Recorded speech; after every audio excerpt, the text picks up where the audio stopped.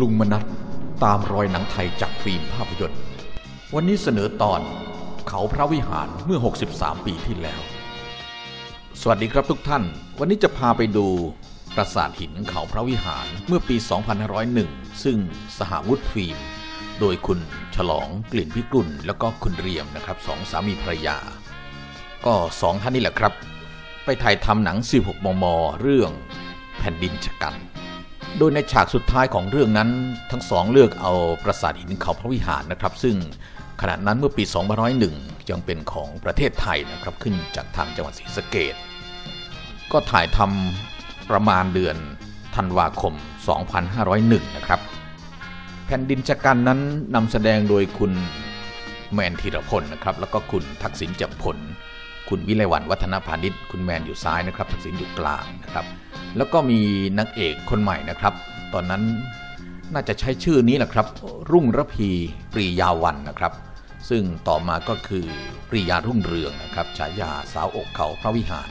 แสดงเป็นเรื่องแรกด้วยสำหรับภาพถ่ายเหล่านี้นะครับเป็นเบื้องหลังการถ่ายทำหนัง ซึ่งลูกสาวคุณฉลองเกลิ่นพิกุลเก็บรักษาไว้นะครับ ก็นำมาเผยแพร่นะครับ ผมก็นำมาเผยแพร่ต่อนี่คือกองถ่ายนะครับที่ถ่ายเห็นบรรยากาศตอนที่ขึ้นไปถ่ายหนังที่ปราสาทหินเขาพระวิหารนะครับ คุณฉลองกลิ่นพิกุลจะเป็นตากล้องนะครับภาพนี้ตัวแสดงหลักก็จะมีคุณอดินันนะครับ คุณวิชิต แล้วก็คุณสมพงษ์คงสุวรรณนะครับ นอกนั้นเป็นตัวประกอบที่เข้าฉาก มาดูเครนนะครับ เครนในการถ่ายทำหนังของคุณฉลองกลิ่นพิกุลนะครับ เวลามุมสูงนี้ต้องสร้างเครนไม้ขึ้นมาอย่างนี้นะครับ ข้างข้างล่างเป็น reflex นะครับแล้วคุณฉลองก็จะต้องขึ้นไปนั่งอยู่บนเครนแล้วครับแล้วจะมีคนดึงขึ้นมานะครับ ถ้าต้องการได้มุมสูงแบบอินเอานะครับนั่นแหละครับปีนไปสูงสุดขนาดนั้นนะครับดูครับนี่ครับ นี่คือการถ่ายหนัง 16 มม กล้องเดียวในสมัยก่อนของคุณฉลองกลิ่นพิกุลนะครับ ซึ่งถ่ายทำเรื่องแผ่นดินของใครนะครับ แต่ว่าพอถ่ายทำเสร็จนั้นหนังไม่ผ่านเซ็นเซอร์นะครับ ก็เลยมีการปรับปรุงแก้ไขนะครับ แล้วก็เปลี่ยนชื่อหนังเป็นเรื่องแผ่นดินของใครนะครับ แล้วหนังเรื่องนี้ก็ออกฉายครั้งแรกวันที่ 20 พฤศจิกายน 2502 ที่โรงหนังเอ็มพายปากของตลาดนะครับ แต่ว่าใบปิด 2 ใบนี้เป็นใบปิดที่มาฉายเมื่อปี 2505 นะครับ หลังจากที่ศาลโลกตัดสินให้ตัวปราสาทหินเขาพระวิหารนั้นเป็นของประเทศกัมพูชานะครับ หนังก็เลยกลับมาฉายอีกครั้งหนึ่ง และต่อจากนี้ไปก็จะเป็นบรรยากาศสภาพภูมิประเทศของปราสาทหินเขาพระวิหาร เมื่อเดือนธันวาคมปี 2501 นะครับ ที่คุณฉลองกลิ่นพิกุลยกกองขึ้นไปถ่ายทำภาพยนตร์เรื่องแผ่นดินชะกันหรือว่าแผ่นดินของใครนะครับ สมัยนั้นหนัง 16 มม ภาคสดๆนะครับ เวลาถ่ายทำจะไม่มีการบันทึกเสียงนะครับ ก็จะเป็นการเก็บบรรยากาศนะครับ แล้วก็ ช้กล้อง 16 มม ถ่ายทำเพียงกล้องเดียวเท่านั้นนะครับ แล้วก็มาตัดต่อเอานะครับสำหรับฟิล์มหนัง 16 มม เรื่องแผ่นดินชะกันหรือว่าแผ่นดินของใครนี้นะครับ เป็นฟิล์มที่เหลือจากการฉายเมื่อปี 2505 นะครับ แล้วก็เก็บอยู่ที่บริการอุตสาหฟิล์มที่อยู่แถวๆหลังเฉลิมกรุงนะครับ ก็เรียกว่าหมดยุคของหนัง 16 ไปแล้วก็เก็บจะลืมไว้อยู่ที่อุตสาหฟิล์มนั่นแหละครับ แล้วก็มีอยู่ครั้งหนึ่งสมัยที่ผมยังช่วยคุณโตพันธมิตรตามหาฟิล์มหนัง16มมนะครับ ตอนนั้นคุณโตพันธมิตรเน้นหาฟิล์มหนัง มิตรชัยบัญชานะครับ มาทำเป็น VCD เป็น DVD นะครับ มาพากย์เสียงแล้วก็ออกจำหน่ายนะครับ ก็เลยมีคนมาส่งข่าวว่าที่ร้านอุตสาหฟิล์มนี้ มีฟิล์มหนังเหลืออยู่หลายกระเป๋านะครับ อยากให้พวกเราไปดู แต่ว่าพอเข้าไปดูแล้วปรากฏว่าเป็นฟิล์มหนัง ซึ่งเหลือจากการที่ ผู้ที่เหมาซื้อเจ้าแรกนะครับ เขาไม่เอาไปนะครับ เนื่องจากว่าสภาพฟิล์มไม่สมบูรณ์นะครับหนึ่งในนั้นก็มีกระเป๋าฟิล์มอยู่กระเป๋าฟิล์มหนึ่งนะครับตอนที่ผมเห็นครั้งแรกนั้นดีใจมากนะครับ เพราะว่าข้างกระเป๋าฟิล์มเขียนว่าเพชรพระอุมาครับก็เลยรีบเปิดกระเป๋าออกดูนะครับพบว่าเป็นฟิล์ม 16 มมอยู่ 3 ม้วนนะครับทีแรกก็คิดว่าเป็น 16 มม scope ของเรื่องเพชรพระอุมานะครับแต่ว่าพอสาวฟิล์มขึ้นมาดูปรากฏว่า เป็นฟิล์มที่มีหนามเตยสองข้างนะครับ ก็คือฟิล์ม 16 มม ไม่มีเสียง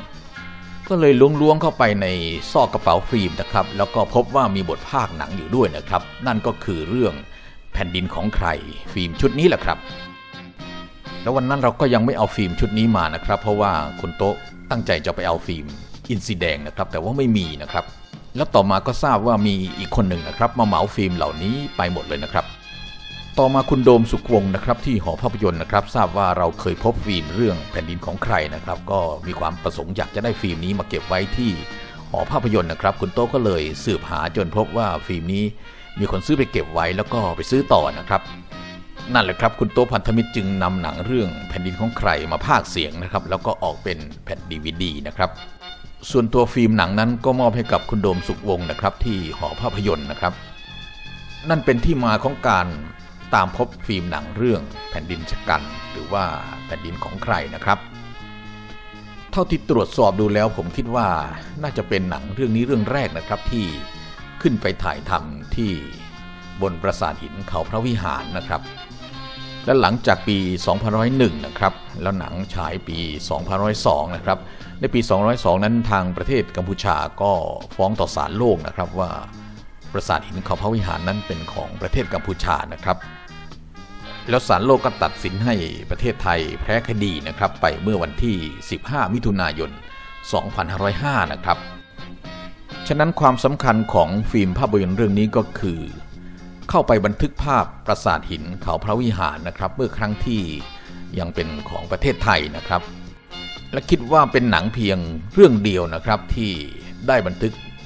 ภาพบนปราสาทหินเขาพระวิหาร แล้วก็เป็นการบันทึกแบบค่อนข้างยาวนะครับ ก็เรียกว่ายกฉากคิวบูนั่นคุณปริยารุ่งเรืองนะครับ วิ่งเข้ามาแย่งปืนนะครับ ก็เป็นฉากคิวบูซึ่งใช้ดารานะครับ แล้วก็ใช้นักแสดงประกอบเป็นจำนวนมากนะครับ ถ่ายทำนะครับ เห็นเห็นอยู่หลายฉากอย่างนี้นะครับ ก็ใช้เพียงกล้องเดียวนะครับ หนังสมัยก่อนใช้เพียงกล้องเดียว แล้วก็ค่อยนำฟิล์มมาตัดต่อกันภายหลังนะครับ เข้าใจว่าหนังเรื่องนี้ ท่านที่เป็นแฟนหนังเก่าน่าจะซื้อแผ่นดีวดีไปเก็บไว้ไปดูกันจนหมดแล้วนะครับ วันนี้ก็ดูดูบรรยากาศของปราสาทหินเขาพระวิหารนะครับ ดูในลักษณะของการเรียนรู้จากภาพยนตร์นะครับ เพราะว่าตัวจริง ๆ แล้วภาพยนตร์นั้นก็เป็นสื่อชนิดหนึ่งนะครับ ทุกวันนี้ผมก็ใช้สื่อจากภาพยนตร์นี่นะครับ เป็นสื่อในการเรียนรู้นะครับ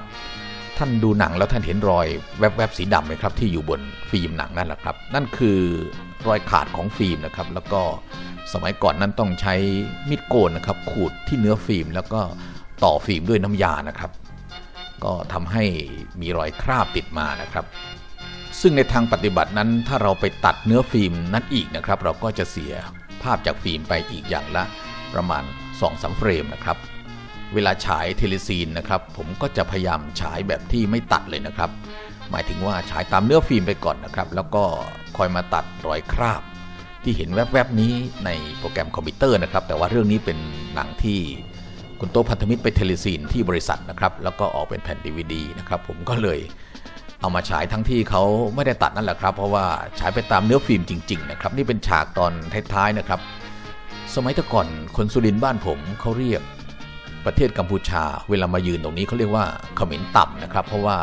พอเรายืนอยู่บนปราสาทหินเขาพระวิหารแล้วมองลงไป เบื้องล่างนั้นจะคือดินแดนของประเทศเขมรนะครับ ก็เลยเรียกว่าเป็นเขมรต่ำนะครับสำหรับตามรอยหนังไทยจากฟิล์มภาพยนตร์วันนี้ก็คงจะหมดเพียงเท่านี้แหละครับ แล้วพบกับผลงานในชุดต่อไปนะครับ สวัสดีครับ